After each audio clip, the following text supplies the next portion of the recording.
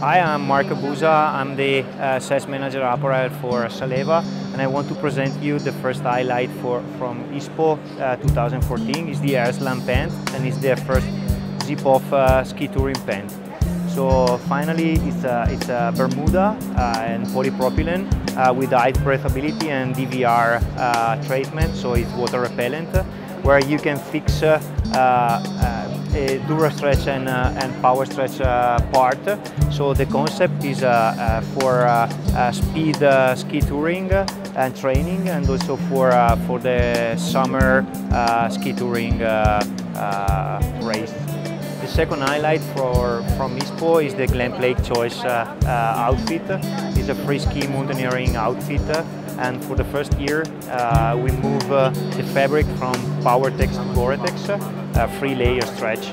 Uh, it's finally uh, an outfit uh, designed for free ski, but is also perfect for, for mountaineering. So the fitting is more close to mountaineering than a free ride. you have the, the, jacket extraction that you can fix the pant for the for the powder day, and and the new pant has a, a lower best waist where where is fixed uh, this mesh part that you can remove uh, for uh, summer use.